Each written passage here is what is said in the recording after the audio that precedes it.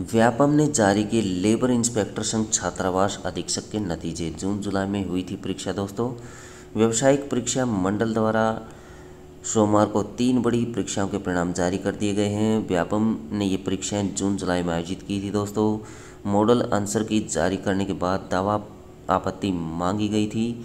इनके निराकरण के बाद अंतिम परिणाम व्यापम ने अपने आधिकारिक वेबसाइट पर अपलोड कर दिए हैं। इनमें लेबर इंस्पेक्टर, सहायक प्रबंधक और छात्रावास अधीक्षक के पद शामिल हैं। नतीजों के आधार पर अब कैंडिडेट्स को संबंधित विभागों में नियुक्ति दी जाएँगी।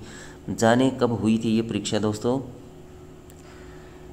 कार्यालय, श्रमायुक्त के अंतर्गत लेबर इंस्पेक्टर के रिक्त पदों के लिए 24 जून को परीक्षा आयोजित करवाई गई थी। इसके लिए मॉडल स्तर की 31 जुलाई को जारी की गई थी। दावा संपत्ति, दावा आपत्ति के बाद तीन अगस्त तक ये समय दिया गया था। छत्तीसगढ़ राज्य लघु वनोपज के अंतर्गत ही सहायक प्रबंधक के रिक्त पदों के लिए तेरह जून को परीक्षा हुई थी।